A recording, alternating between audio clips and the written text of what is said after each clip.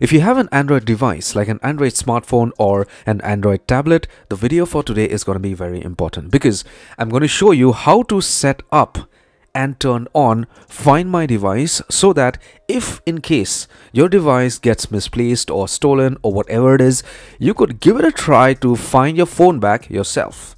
So watch my video completely till the end.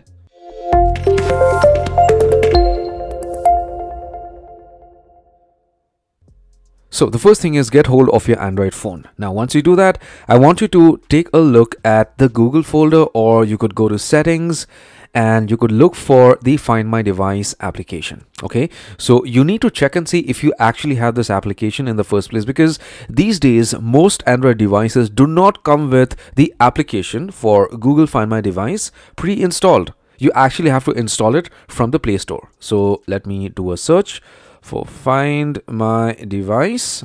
Okay so i do not have it pre-installed on my phone. So let's get on to the play store and look for find my device out here.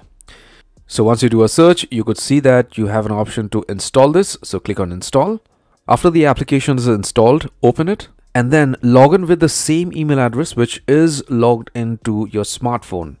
Click on continue put in the password after that, you're completely logged into the application and whatever devices are logged in with the same email address, you're going to see a list of all those devices out here under the same email address. All right. So if you click on this device, you could see all the device information. Click on find my device out here.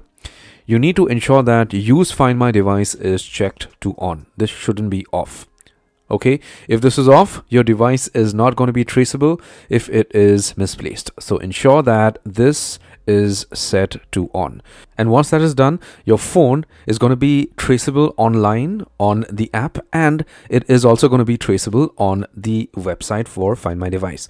On the other hand if you want to check your location directly with find my device just click on the application. The application opens up.